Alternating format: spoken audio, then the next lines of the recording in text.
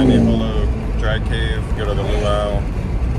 We're actually going to Smith's uh, Grotto tour. Get a little bit of gluten attack this morning. You want to tell everybody about that? This wasn't very fun. That's all I have to say. Got a hamburger yesterday and I guess started itching, the joint started hurting. Deal with that. We're back on the road.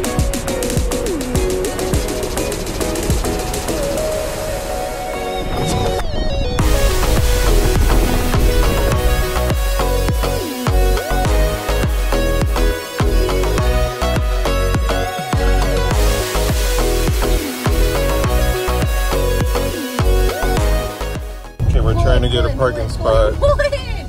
and I'm like, oh my gosh. Oh my gosh! It only took us 45 minutes to find a spot. Wow.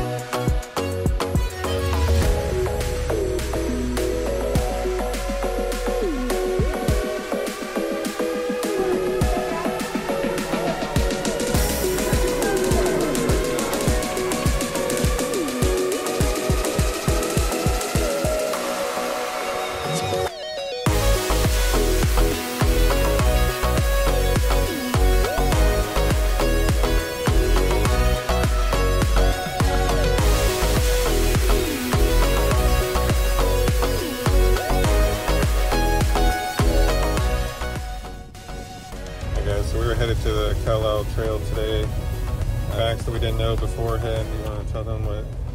So, starting 30 days before your trip, you can go on to the Hawaii Parks website and you have to get a permit to park at the small parking lot at the actual Kalalau Trail. And then once those are those permits are sold out, they do them per day. Uh, you can also have the option to get on a shuttle and the shuttle will drive you to the Kalalau Trail. So I was wondering where the parking lot is in relation to the actual trailhead, and it's probably what do you think? Maybe like two or three miles away. I guess you, I thought you could just walk up to it, but You can't walk up to it. You have to park at that spot. You could potentially park at the cave and walk up there, but you'd be walking another mile or so.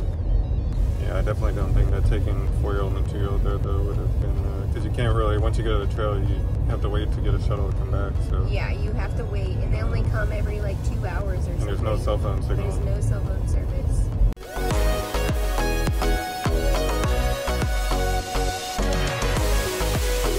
All right, guys, we're getting ready for a Smith Fern Grotto tour. Everybody ready? And then we're going to a party, birthday party, birthday big party, luau. We're going to Smith's luau.